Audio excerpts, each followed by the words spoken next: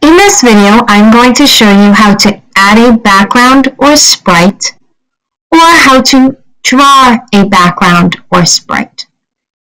They are both very similar. If you see in the corner here, you have a cat with a plus, and you have a background with a plus, backdrop with a plus. You notice they are very similar.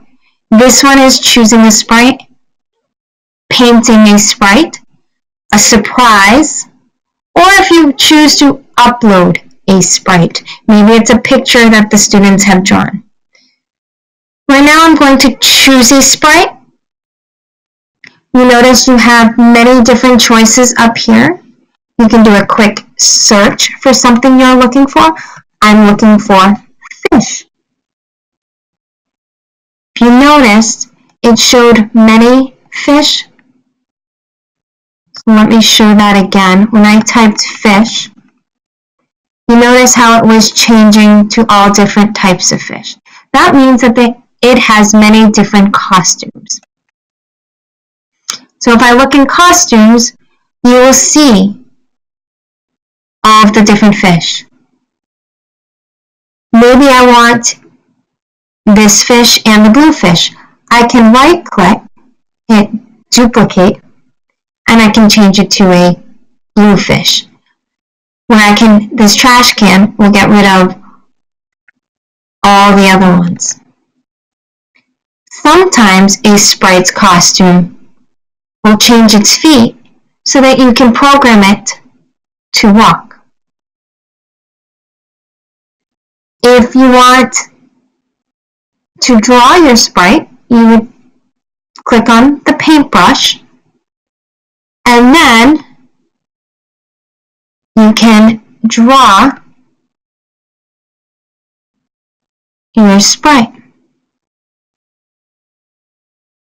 I admit I'm not the best drawer, but you have a paint can, and I can paint it in. And then I can change color. I want more brown. Use the paintbrush. This is a very poor design of a tree. See how it's not working? It's because it's not completely connected. By connecting it, I can hit the paint and it will do it.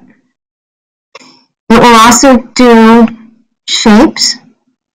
So I'm going to lighten up the brightness here which gives me some brighter colors. I'm going to try to get a nice red and put some apples on my tree. You can see I'm making some apples.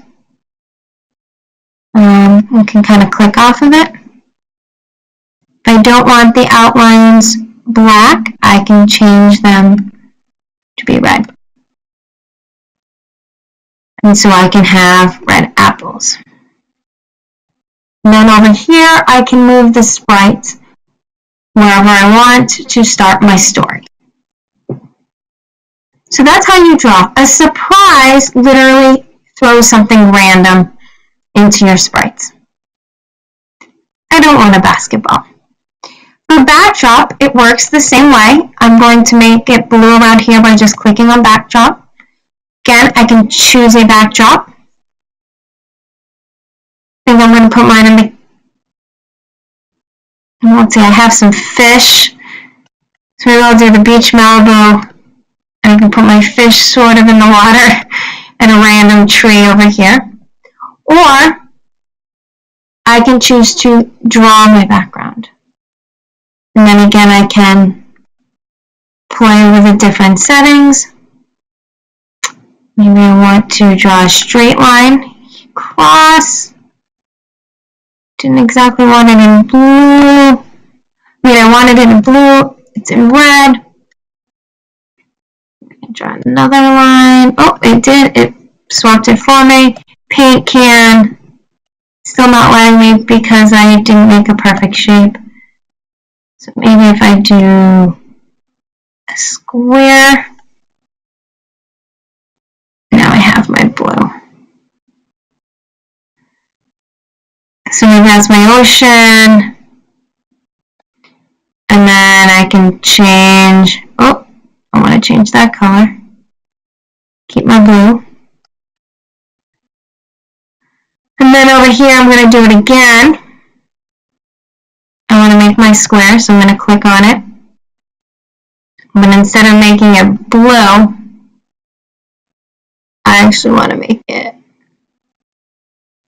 green so it looks kind of like land. I will never say I'm the best drawer, but I can put my tree on land and I can put my fish in the ocean. So that is how you add a sprite or draw a sprite or how you add a background or paint your background. Again, you can always upload with the up arrow. These are very common. You will also see it here if you want to add costumes. They are very similar. So this is how you add a sprite, add a backdrop, or paint one yourself.